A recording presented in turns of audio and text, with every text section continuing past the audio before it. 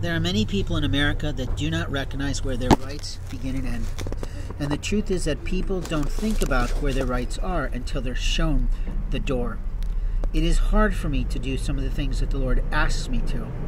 But openly, there are always people trying to play at me as if they're in power with me or beside me, and they're not.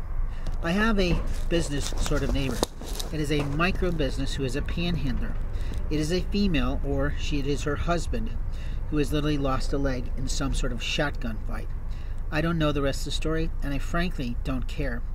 But when the Lord says, please make sure she has a little food, I do this in remembrance of Jesus. I don't do this because I have a care for that child.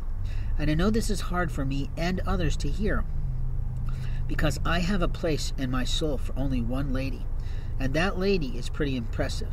But I have a place in my soul for two or three others who are God's backup plan, is what people might say, but they're people that God puts on my heart. And the people that God puts on my heart are my choice, not at all. They are God's choice for me.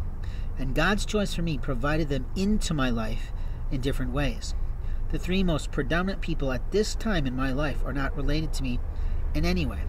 The first woman changed my life for the Lord. The second woman learned from me about God. And the third woman is teaching me things all the time when I listen to her incredible interviews and I see her soul. But beyond that, there is no child in this community ever that's going to tempt me. And anyone who tells you otherwise is a liar of Satan.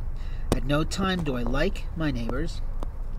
At no time do I enjoy the people I have to interact with because I can like them for who they are, just as they are. But I am never interested in a retail employee to become any part of my external family